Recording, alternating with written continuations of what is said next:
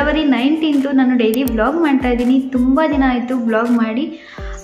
ಸ್ವಲ್ಪ ಬ್ಯುಸಿ ಆಗಿಬಿಟ್ಟಿದ್ದೆ. ಅದಕ್ಕೋಸ್ಕರ ಬ್ಲಾಗ್ ಮಾಡೋಕ್ಕಾಗಿರಲಿಲ್ಲ ಎಷ್ಟೊಂದು ಜನ ಕಮೆಂಟ್ ಮಾಡಿದ್ರಿ ಡೈಲಿ ಬ್ಲಾಗ್ ಮಾಡಿ ವಿಡಿಯೋ ಹಾಕಿ ಅಂತ ಕಮೆಂಟ್ ಮಾಡ್ತಾ ಇದ್ವಿ ಸಾರಿ ನಿಮ್ಮೆಲ್ರಿಗೂ ಬೇಜಾರು ಮಾಡಿದ್ದಕ್ಕೆ.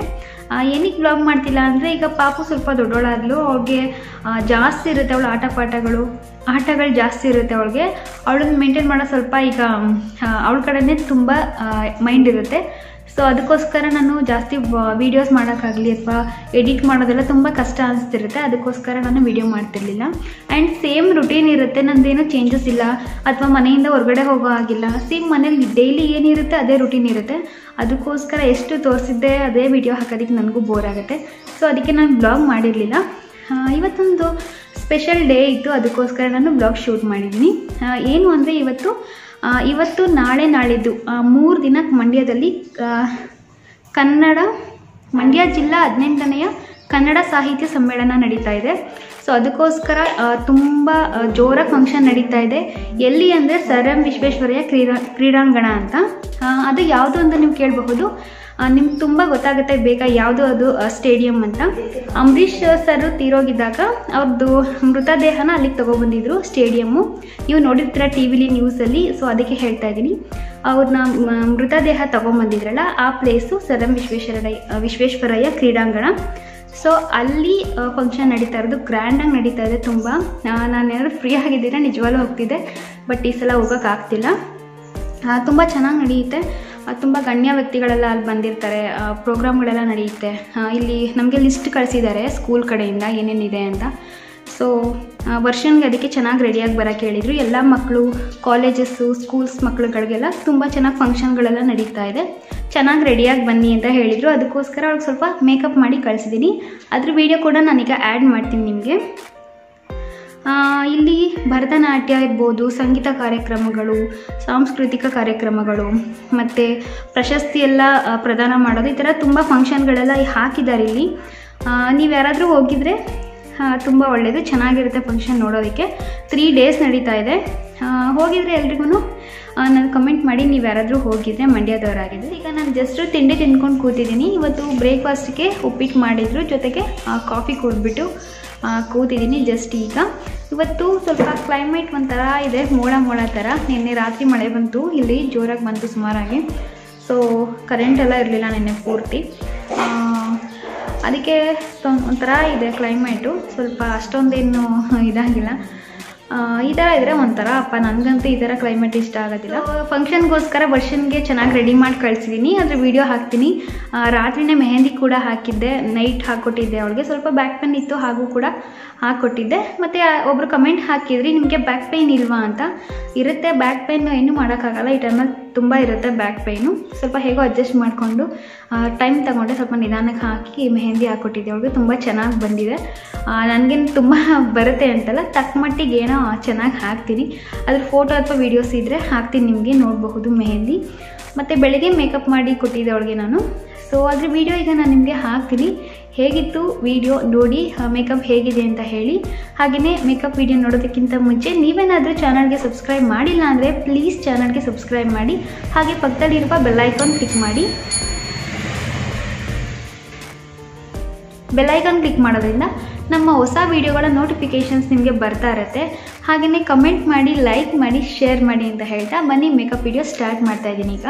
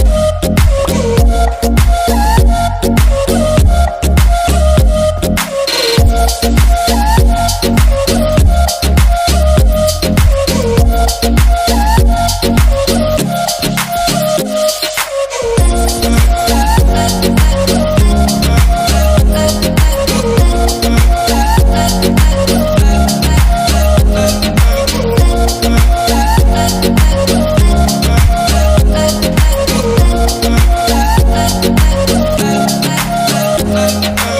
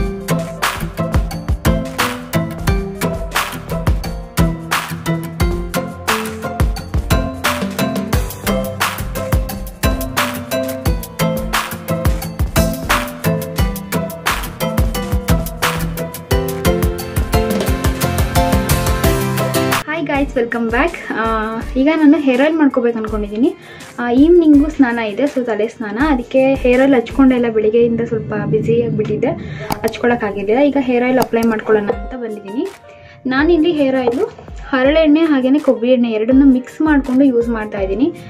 ಇದು ಮನೇಲಿ ಮಾಡಿರೋ ಹರಳೆಣ್ಣೆ. ಇದು ನಮ್ಮ ಅವ್ವ ಮಾಡಿಕೊಟ್ಟು ಕಳಿಸಿದ್ದಾರೆ ಅವ್ವ ಅಂದರೆ ಅಮ್ಮನ ಅಮ್ಮ. ಅವರು ಪಾಪುಗೆ ನನಗೆ ಅಂತ ಮನೆಯಲ್ಲೇ ಮಾಡಿರೋ ಹರಳೆಣ್ಣೆ ಇದು. ಕ್ಯಾಸ್ಟರ್ ಆಯಿಲ್ ಅಂತ ಹೇಳ್ತಾರೆ. ಫ್ರೆಂಡ್ಸ್ ಇದು ಮನೆಯಲ್ಲೇ ಮಾಡಿರೋ ಎಣ್ಣೆ. ಗಿಡ ಇರುತ್ತೆ, ಅರಳು ಗಿಡ ಅಂತ ಹೇಳ್ತಾರೆ. ಅಥವಾ ಬೇರೆಯವ್ರ ಹತ್ರ ಅದ್ರ ಬೀಜಗಳನ್ನ ಕೊಂಡ್ಕೊತಾರೆ. ಅದರಿಂದ ಅರಳೆಣ್ಣೆನ ತಯಾರಿಸಿ ಮನೆಯಲ್ಲೇ ರೆಡಿ ಮಾಡಿರೋದು ಇದು. ಎಲ್ಲಾನು ಗಿಡ ಇದ್ದರೆ ಎಲ್ಲಾನು ದಿನಾಲು ಸ್ಟೋರ್ ಮಾಡ್ತಾರೆ. ನಮ್ಮ ದೊಡ್ಡಮ್ಮ ಒಬ್ಬರಿದ್ದಾರೆ ಅವರು ದಿನಾಗಲೂ ಅರಳು ಗಿಡದಿಂದ ಅಳೆಲ್ಲ ಕಿತ್ಕೊಂಡು ಬಂದು ಅದನ್ನೆಲ್ಲ ಒಣಗಿಸಿ ಎಲ್ಲ ಮಾಡಿ ಸ್ಟೋರ್ ಮಾಡಿಟ್ಟಿದ್ದಾರೆ ಒಂದ್ಸಲ ಎಲ್ಲಾನು ಸೇರಿಸಿ ಎಣ್ಣೆ ಮಾಡ್ಕೊತಾರೆ. ಇದು ಅವ್ವ ಮಾಡಿಕೊಟ್ಟು ಕಳಿಸಿರೋದು ನಮ್ಮ ಅಜ್ಜಿ ಪಾಪು ಯೂಸ್ ಮಾಡ್ತೀನಿ ಅಂದರೆ ಸಾಧ್ಯವಾದಷ್ಟು ಮನೇಲೇ ತಯಾರಿಸ್ಕೊಂಡು ಯೂಸ್ ಮಾಡೋದು ಬೆಟರು ಈ ಎಣ್ಣೆನ. ತುಂಬ ಒಳ್ಳೆಯದು ನಾನು ಈಗ ಆಲ್ರೆಡಿ ಹರಳೆಣ್ಣೆಯಿಂದ ಏನೇನು ಉಪಯೋಗ ಇದೆ, ಯಾವ ರೀತಿ ಕೂದಲಿಗೆ ಅಪ್ಲೈ ಮಾಡ್ತೀನಿ ನಾನು ಅಂತ ವೀಡಿಯೋ ಮಾಡಿದ್ದೀನಿ ಸೊ ಆ ವೀಡಿಯೋ ಲಿಂಕನ್ನು ನಾನು ಇಲ್ಲಿ ಕೊಟ್ಟಿರ್ತೀನಿ. ವೀಡಿಯೋ ನೋಡಿ ಅಂತ ಹೇಳ್ತೀನಿ. ಸೊ ಈಗ ನಾನು ಕೊಬ್ಬರಿ ಎಣ್ಣೆ ಹಾಗೆ ಹರಳೆಣ್ಣೆ ಎರಡನ್ನೂ ಹಾಕ್ಕೊಂಡು ಬಿಸಿ ಮಾಡ್ಕೊಂಡು ಬರ್ತೀನಿ. ಹೇರ್ ಆಯಿಲ್ ಅಪ್ಲೈ ಮಾಡ್ಕೊಳ್ಳೋಕ್ಕೆ ಹಾಗೆಯೇ ಪಾಪುಗೂ ಕೂಡ ಅಪ್ಲೈ ಮಾಡಬೇಕು ಎಣ್ಣೆ. ಅವಳು ಮಲ್ಕೊಂಡಿದ್ದಾಳೆ. ಸೊ ಅವಳು ಎದ್ದ ತಕ್ಷಣ ಅವಳಿಗೂ ಕೈ ಎಣ್ಣೆನ ಅಥವಾ ಹರಳೆಣ್ಣೆನ ಬಿಸಿ ಮಾಡಿ ಹಚ್ತೀನಿ ಅವಳಿಗೆ. ಫ್ರೆಂಡ್ಸ್ ಎಣ್ಣೆ ಬಿಸಿ ಮಾಡಾಗಿದೆ. ಸ್ವಲ್ಪ ಬಿಸಿ ಇದೆ. ಅದಕ್ಕೋಸ್ಕರ ಆಗಲಿ ಅಂತ ಇಡ್ತಾ ಇದ್ದೀನಿ. ಅದಕ್ಕೆ ಒಂದು ಪ್ಲೇಟ್ ಒಳಗೆ ಕೂಡ ಹಾಕೊಂಡ್ಬಂದಿದ್ದೀನಿ ಈ ಬಟ್ಲು ಎಣ್ಣೆ ಎಣ್ಣೆ ಕಾಯಿಸೋದಕ್ಕೆ ಅಂತಲೇ ಇಟ್ಟಿರೋ ಬಟ್ಲು, ಅದಕ್ಕೆ ಇದೆಲ್ಲ ಫುಲ್ ಕಪ್ಪಾಗ್ಬಿಟ್ಟಿದೆ ಅದಕ್ಕೆ ಎಣ್ಣೆಗೆಣ್ಣೆ ಅಂತ ಇಟ್ಬಿಟ್ಟಿದ್ದೀವಿ ಬಿಸಿ ಮಾಡೋದಕ್ಕೆ ಅಂತ. ಸೊ ಫ್ರೆಂಡ್ಸ್ ಈಗ ನೀವು ಸಾಧ್ಯ ಆದಷ್ಟು ಮನೇಲಿ ಮಾಡಿರೋ ಹರಳೆಣ್ಣೆ ಯೂಸ್ ಮಾಡೋದು ಬೆಟರು ಕೆಲವ್ರಿಗೆ ಸಿಗೋದಿಲ್ಲ, ಅವಾಗ ಏನು ಮಾಡೋಕ್ಕಾಗಲ್ಲ, ಅವರು ರೆಡಿಮೇಡ್ ತೊಗೊಬೇಕಾಗತ್ತೆ. ಇದು ಪಾಪುಗೆ ಅಂತ ಇಟ್ಟಿರೋದು ಬರೀ ಹರಳೆಣ್ಣೆ ಅದು ಕಾಯಿಸಿ ಕಾಯಿಸಿ ಎಲ್ಲ ಬಟ್ಲಿ ಥರ ಆಗಿದೆ. ಅವಳಿಗೋಸ್ಕರ ಇದು ಬಟ್ಲಿ ಇಟ್ಬಿಟ್ಟಿದ್ದೀವಿ. ಸಿಗೋದಿಲ್ಲ ಕೆಲವರಿಗೆ ಮನೇಲಿ ಮಾಡಿರೋ ಎಣ್ಣೆ. ಹಳ್ಳಿಗಳ ಕಡೆ ಹೋದರೆ ಸಿಗುತ್ತೆ. ಮಾರ್ತಾರೆ ಹರಳುಗಳನ್ನೆಲ್ಲ ಮಾರ್ತಾರೆ. ಆಮೇಲೆ ಮಾಡಿ ಕೂಡ ಮಾರ್ಕೊಡ್ತಾ, ಮಾರ್ತಾರೆ. ಮಾಡಿಕೊಡ್ತಾರೆ ಬೇಕು ಅಂದರೆ. ಸೊ ನೀವು ಅಂಥವ್ರ ಹತ್ರ ಕಾಂಟ್ಯಾಕ್ಟ್ ಮಾಡ್ಕೊಂಡು ಬೇಕಾದರೆ ತೊಗೋಬಹುದು. ಚೆನ್ನಾಗಿರುತ್ತೆ ಯೂಸ್ ಮಾಡೋಕ್ಕೆ ಘಮ್ ಅಂತ ಇರುತ್ತೆ ಮನೇಲಿ ಮಾಡಿರೋ ಎಣ್ಣೆ. ಹೊರ್ಗಡೆದೇನು ನಂಗೆ ಅಷ್ಟು ಇಷ್ಟ ಆಗಲ್ಲ. ನಾವು ಯಾವಾಗಲೂ ತೊಗೊಂಡೇ ಇಲ್ಲ ಹೇಳ್ಬೇಕಂದ್ರೆ. ನನ್ನ ಫ್ರೆಂಡ್ಸ್ ಮನೇಲಿ, ಬೇರೆಯವ್ರ ಮನೇಲೆಲ್ಲ ನೋಡಿದ್ದೀನಿ ಅಷ್ಟು ಘಮ ಇರೋದಿಲ್ಲ. ಇದಾದರೆ ತುಂಬ ತಿಕ್ಕಾಗಿರುತ್ತೆ. ನೋಡಿದ್ರಿ ಅಲ್ವಾ ಯಾವ ರೀತಿ ಇತ್ತು ಎಣ್ಣೆ ಅಂತ? ಸೊ ತುಂಬ ಚೆನ್ನಾಗಿರುತ್ತೆ. ಮನೇಲಿ ಮಾಡಿರೋ ಎಣ್ಣೆ ಎಣ್ಣೆನ ತಗೊಳಕ್ಕೆ ಟ್ರೈ ಮಾಡಿ. ಸೊ ಈಗ ನಾನು ಹೇರ್ ಆಯಿಲ್ ಅಪ್ಲೈ ಮಾಡ್ಕೊತೀನಿ.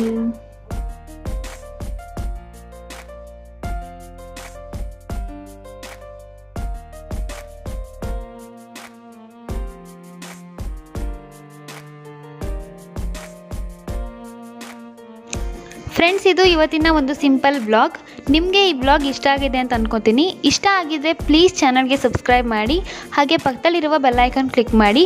ಬೆಲ್ಲೈಕನ್ ಕ್ಲಿಕ್ ಮಾಡೋದ್ರಿಂದ ನಾವು ಯಾವುದೇ ಹೊಸ ವೀಡಿಯೋವನ್ನು ಅಪ್ಲೋಡ್ ಮಾಡಿದ್ರೆ ನಿಮಗೆ ಮೊದಲು ನೋಟಿಫಿಕೇಷನ್ ಬರುತ್ತೆ. ನೀವು ಆ ಕ್ಷಣವೇ ಆ ವಿಡಿಯೋವನ್ನು ನೋಡಬಹುದು. ಹಾಗೆಯೇ ವಿಡಿಯೋ ಇಷ್ಟ ಆಗಿದ್ರೆ ಪ್ಲೀಸ್ ವಿಡಿಯೋಗೆ ಲೈಕ್ ಮಾಡಿ ಕಮೆಂಟ್ ಮಾಡಿ, ಹಾಗೆ ಶೇರ್ ಮಾಡಿ. ಶೀ ಈಸ್ ಮೈ ಕ್ಯೂಟಿಪಾಯ್ ನಾನು ಮತ್ತೆ ಮುಂದಿನ ವಿಡಿಯೋದಲ್ಲಿ ಸಿಗ್ತೀನಿ. Thanks for watching